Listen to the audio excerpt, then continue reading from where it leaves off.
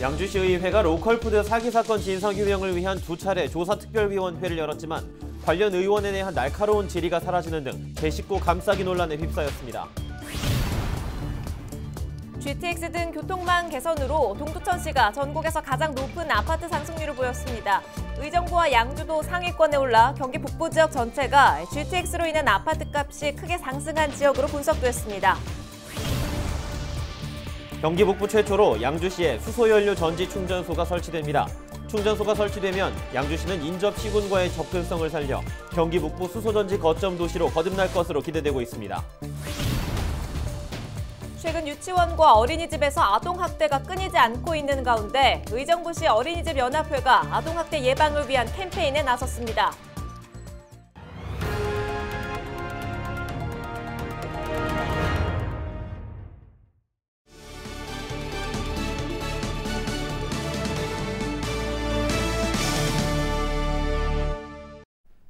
시청자 여러분 안녕하십니까? 헬로티비 나라뉴스입니다. 첫 소식입니다. 양주 로컬푸드 사기 사건 진상규명을 위해 출범한 양주시의회 조사특별위원회가 증인과 참고인에 대한 두 차례 신문조사를 했습니다. 신문에선 시 집행부의 관리감독 부실에 대한 비판이 이어졌는데 소속 의회 의원에 대한 질의는 날카롭지 못했다는 평가입니다. 이지훈 기자입니다.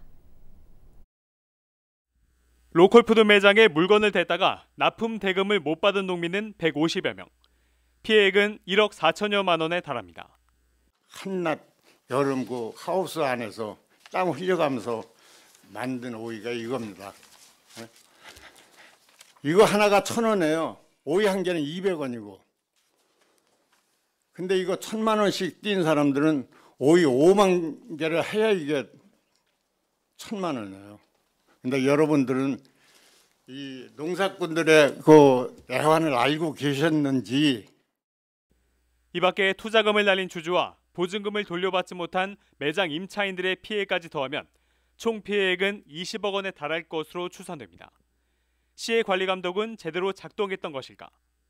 아니 그 시장님이나 부시장님이 조치를 어떻게 하라고 문서로다가 저 센터에다 내려보낸 거 있어요? 그런 건 없습니다.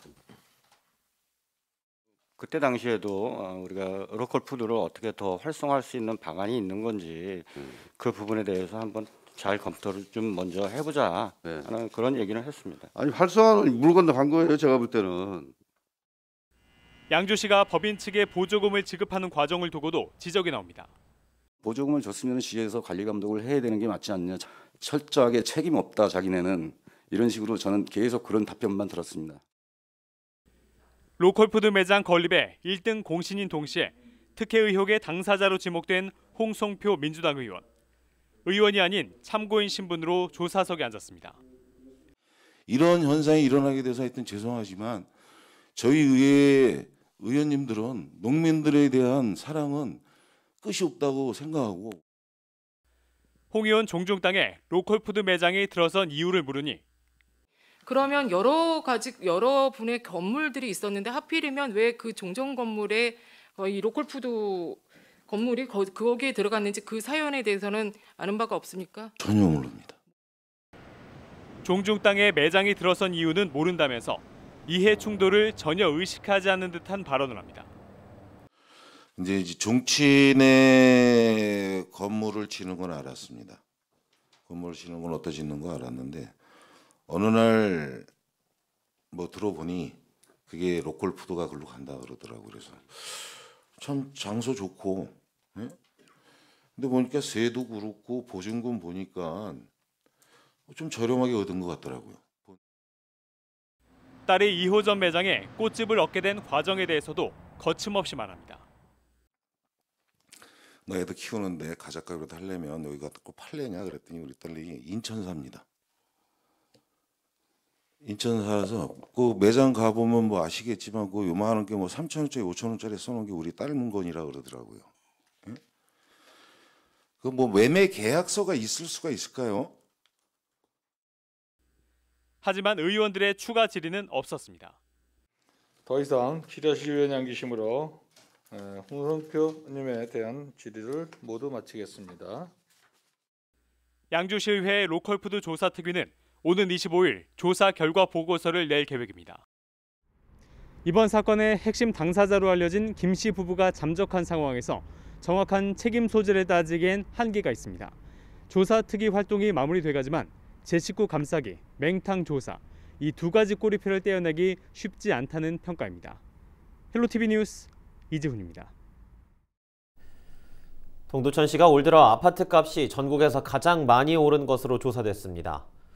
부동산 114가 조사한 아파트값 변동률을 보면 동두천시가 10.93%로 전국 1위를 차지했습니다. 의정부시는 10.19%로 3위, 양주시는 8.58%로 6위를 기록하는 등 경기 지역이 상위권을 휩쓸었습니다.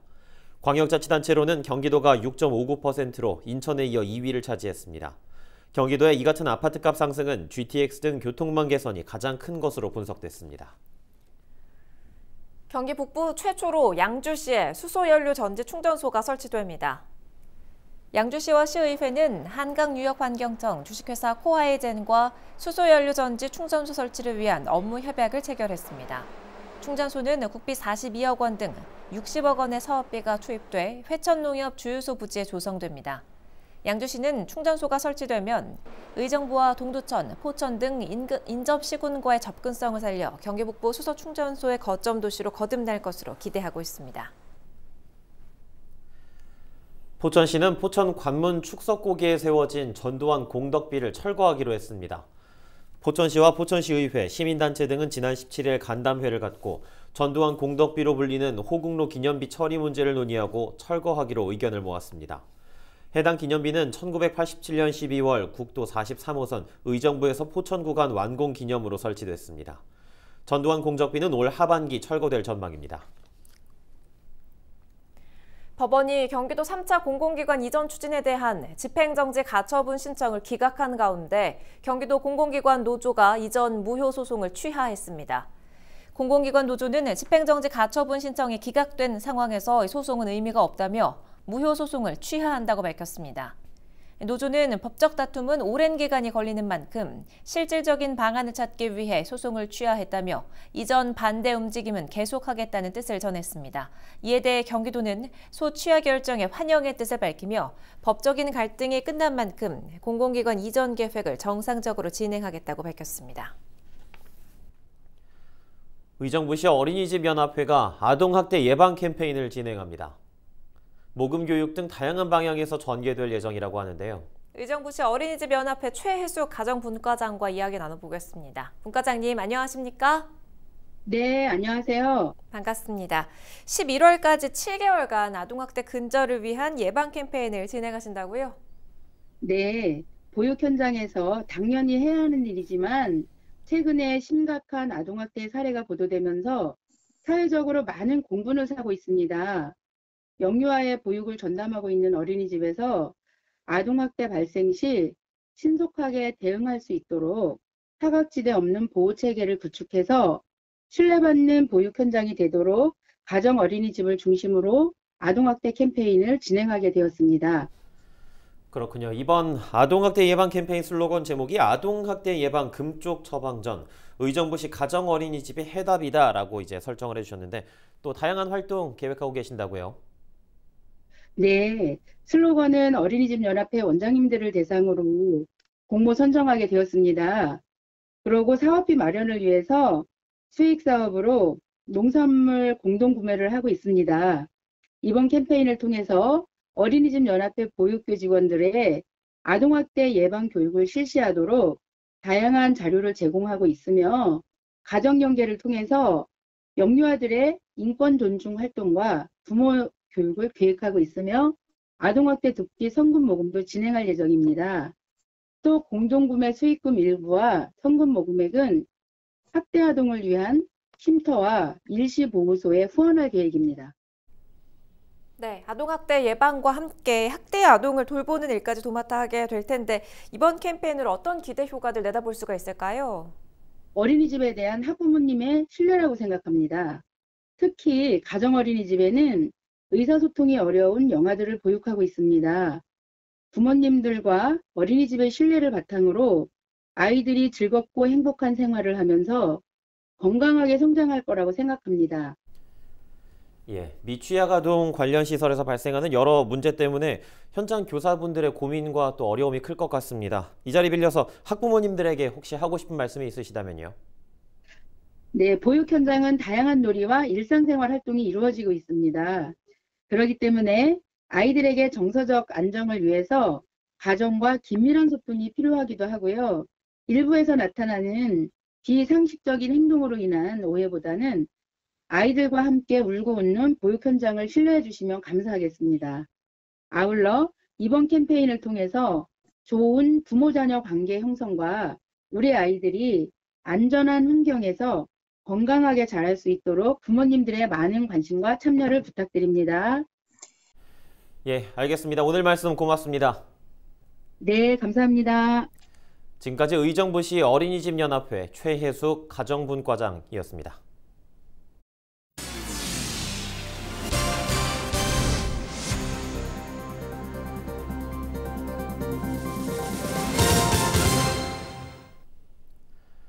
스물일곱 개의 한강다리 중 유일하게 통행료를 받고 있는 일산대교에 대한 무료화를 추진하기 위해 경기도의회 특별위원회가 구성됐습니다. 특위는 첫 회의를 열고 소영환 의원을 위원장으로 신민자, 이필근 의원을 부위원장으로 선출했습니다. 앞으로 특위는 6개월 동안 민자도로 통행료의 부당함을 조사하고 관계기관의 의견을 수렴해 요금 조정을 위한 합리적인 대책을 마련할 방침입니다. 한강다리 중 유일하게 통행료를 받는 일산대교는 경기도 1호 민간 투자도로 사업으로 지난 2008년 개통 후 승용차 기준 1,200원의 통행료를 받고 있습니다. 이는 수도권 제1순환고속도로보다 6배 높은 금액으로 통행료가 비싸다는 지적이 계속 이어져 왔습니다. 경기도의회는 이번 특별위원회 구성으로 일산대교 통행료 무료화를 위한 국비 지원 등을 촉구할 예정이며 도내 다른 민자도로의 요금 상황도 개선해 나갈 예정입니다. 27개 다리 중에 유일하게 한강에서 돈을 받고 있습니다. 이 부분도 상당히 잘못되고 여러 부분에서 고쳐야 될 부분이 많기 때문에 이번 특위를 구성해서 꼭 도민들이 자율적으로 통행할 수 있는 그런 통행권을 보장하기 위해서 최대한 노력할 것입니다. 경기도의회 교육행정위원회가 4.16 민주시민교육원을 방문했습니다. 경기도 의원들은 4.16 민주시민교육원 운영 계획을 듣고 학생이 주도하는 민주시민교육의 필요성을 얘기했으며 6월부터 실시되는 시범교육이 잘 이뤄질 수 있도록 프로그램에 대한 철저한 준비를 부탁했습니다. 또 현안 사항으로 제기된 대형 버스의 주차 문제, 시설 관리직 증원 등 민주시민교육원이 활발히 운영되기 위한 다양한 개선 사항을 점검하고 관련 조례 제정 등 검토할 계획입니다. 기업관을 방문한 의원들은 단원고 2학년 교실 10개 반과 교무실을 그대로 옮겨놓은 현장을 살펴보며 세월호 참사의 아픔을 모두가 기억하고 공감하는 장소로 운영되길 희망한다고 말했습니다. 이 차원에서 인력 보완을 해줘야 될 것 같고 전체적으로 아마 이 공간들이 잘 운영될 수 있도록 차근차근 필요한 부분을 지원을 해야겠다고 생각을 했습니다. 아마 지금 오히려 코로나 시국이라서 부족한 부분을 보완하고 할 수 있는 아마 그런 기간이라고 생각해서 지금 오기를 참 잘했다고 생각합니다. 동두천시가 18일부터 시내 노래 연습장의 불법 영업에 대한 특별 단속을 실시합니다. 시는 수도권 유흥시설의 집합금지 조치 연장으로 유흥시설 이용자들이 노래 연습장에 집중될 것으로 예상한다며 이같이 밝혔습니다. 앞서 시는 지난달 관할경찰서 협조를 받아 노래 연습장 불법 행위를 단속했으며 총두 건의 주류 판매와 반입을 적발했습니다. 시는 코로나19 방역수칙 위반과 주류 반입 및 판매, 접대부 고용 등 노래 연습장의 불법 행위에는 무관용 원칙으로 강력하게 처벌한다는 방침입니다. 한 50대 경찰관이 아스트라제네카 백신을 맞은 직후 메스꺼움과 오한 등의 증상을 겪다가 16일 만에 사망했습니다. 고인은 평소 건강했고 올 초 받은 건강검진에서도 별다른 이상이 발견되지 않았다고 하는데요. 방역당국이 백신 접종과의 연관성 여부를 조사하고 있습니다. 그런데 인과관계 여부는 누가 입증해야 할까요? 연관성의 입증을 환자나 유가족에게 전가해선 안 되겠습니다. 관계가 없다는 걸 당국이 입증하도록 하고 입증하지 못하면 국가가 충분한 보상을 해야 하지 않을까요? 안심하고 예방접종을 받으라고 한 국가가 끝까지 책임지는 모습을 보여야 집단 면역을 앞당길 수 있을 겁니다. 이상으로 헬로티비 뉴스를 모두 마칩니다. 지금까지 시청해주신 여러분 고맙습니다.